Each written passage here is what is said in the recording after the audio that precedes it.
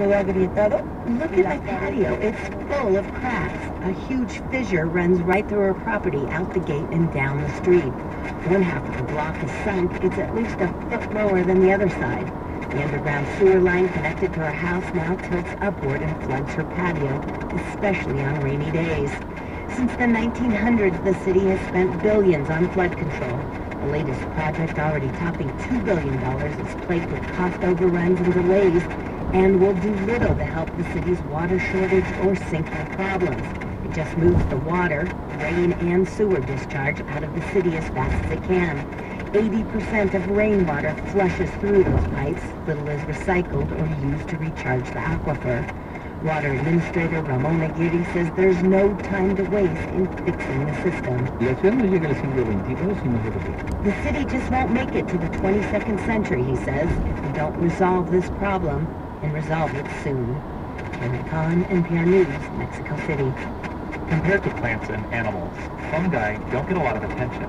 A group of scientists wants to change that with a report that they describe as the first ever major assessment of the world's fungi.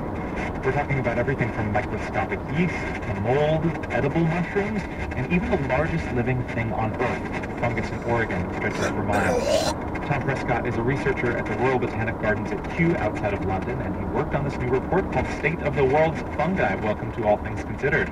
Thank you very much for having me. To start with what fungi actually are, I was surprised to read they're more closely related to animals than plants.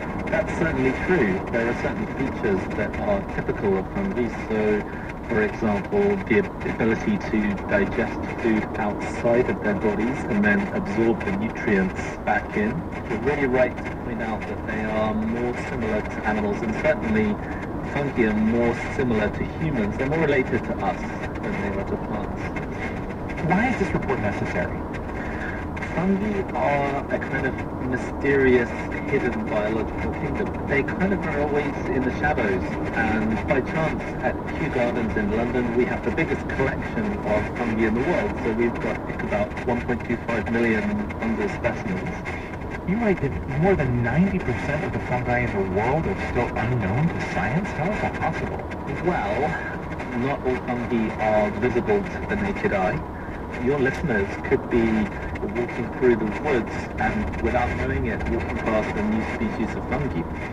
Plants and animals are indisputably more charismatic, sexier than a typical fungus.